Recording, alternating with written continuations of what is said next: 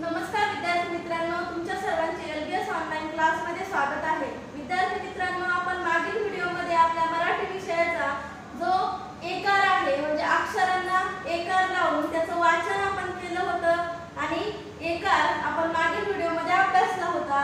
तर एकाराचा आपण अक्षरांना वाचन लावून कशा पद्धतीनं करतो हे आपण मागील व्हिडिओमध्ये अभ्यासलं होतं. आजच्या व्हिडिओमध्ये आपण या एकाराचे काही दोन अक्षरी शब्द अभ्यासणार आहोत.